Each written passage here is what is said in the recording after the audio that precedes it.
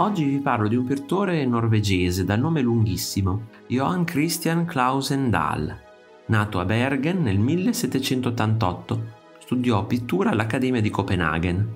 Artista di paesaggi, si ispirò a modelli fiamminghi, aggiungendo dei temi nuovi al genere come le cime calve delle montagne norvegesi e le formazioni nuvolose che le attraversavano. La sua opera diede uno slancio innovativo alla pittura norvegese e tedesca nel 1818 infatti si trasferì a Dresda, unendosi al gruppo di pittori che si erano raccolti attorno a Friedrich. I dipinti di questo artista hanno tutti un filo conduttore che li lega. Lo studio del cielo, al quale sempre è destinato gran parte dello spazio figurativo dei suoi quadri.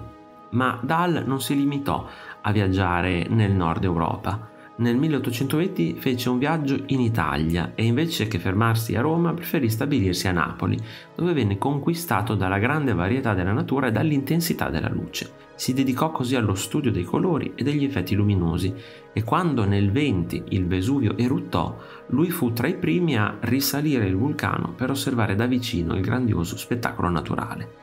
Ed è proprio ciò che questo dipinto rappresenta. Già nel XVIII secolo le riproduzioni dell'eruzione del Vesuvio erano tra le immagini di fenomeni naturali più ricercati, forse soddisfacevano il pubblico e la sua sete di eventi straordinari, rispondendo all'ideale estetico del sublime e del pittoresco.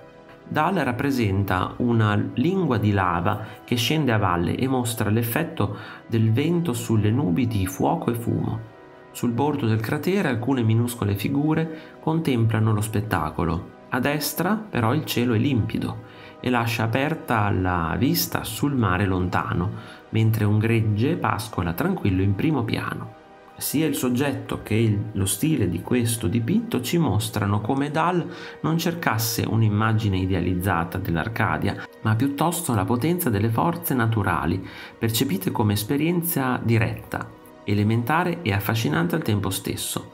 Lo stile di Dahl è espressivo, carico di valori emotivi e di pathos, senza però scadere mai nel sentimentalismo puro.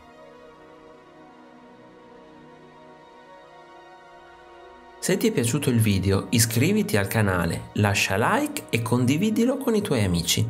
Ti invito anche a visitare il mio negozio. Un saluto e al prossimo video di Arte Esplorando.